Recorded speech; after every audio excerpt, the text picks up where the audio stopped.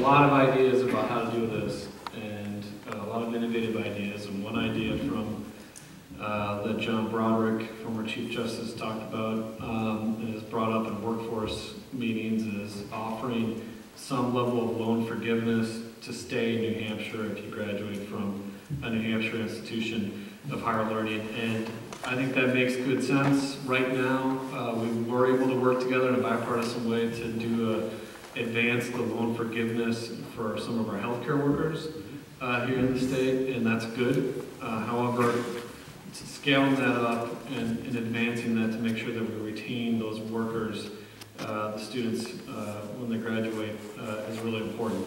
I also think it's really important uh, to do the kind of things to attract and retain the workforce of tomorrow that some other states have gotten a jump on us, including Governor Charlie Baker, who recently signed paid family and medical leave insurance in Massachusetts. That's a competitiveness issue. That's something young working families are talking about.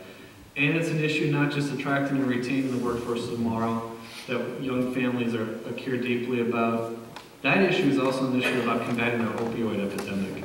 It's the number one cited reason that people don't get into treatment is because they don't want to risk their family's economic security. Not having paid family medical leave insurance to defray some of that cost so you get into treatment is so harmful to our economy. It's harmful to those individual workers. It's harmful to their families, and it's harmful to the businesses who've already trained up that worker and want to keep that worker and keep them healthy. And paid family medical leave is also important to our aging population. If a worker has time to spend with their parent or grandparent, critical to their livelihood and their health too. So I agree with Andru. Uh, you gotta do, look at affordable child care, you gotta look at affordable housing. We've talked about job training and skilling people up. You also gotta look at some of these innovative loan forgiveness and finally move forward on paid family medical leave. Thank you. Mr. Volinsky, I know you're not feeling well tonight. Would you like to comment on this and then perhaps be excused if you're not Yes, ma'am. well? Thank you. Uh, So just a a brief comment, uh, adopting most of what Dan just said. Um, I would try to also replicate programs like the ATAC program in Rochester, Advanced Technology Academic Center. It's a program designed for high school graduates. You can get a GED as well. It gets you started in advanced manufacturing of composite materials.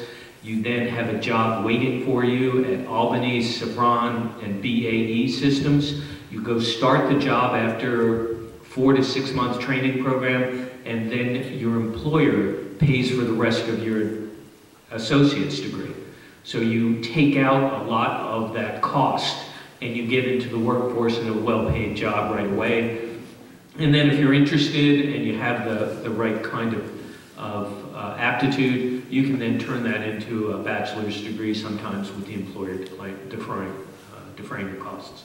So with that, I would indeed beg off, and I, I appreciate your allowing me to Thank sneak you. away. Thank you for coming, Mr. Volinsky.